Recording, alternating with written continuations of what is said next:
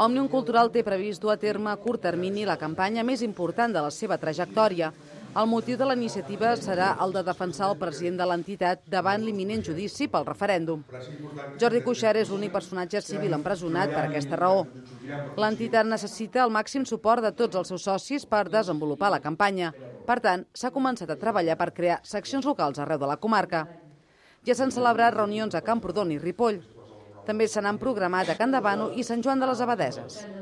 Evidentment, eh, la campanya serà a nivell de tot Catalunya. Es, des d'Òmnium se'ns ha dit, no se'ns ha donat els detalls, que serà la campanya més important que ha fet mai Òmnium, no?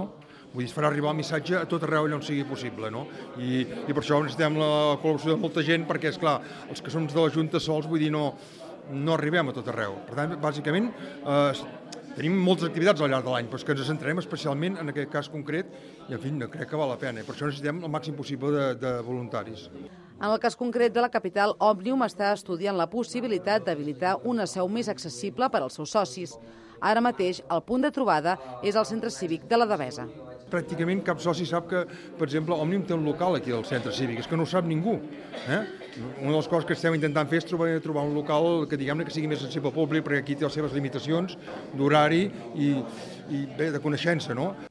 L'entitat compta amb gairebé 800 socis al Ripollès. Part d'un objectiu d'aquesta trobada si buscant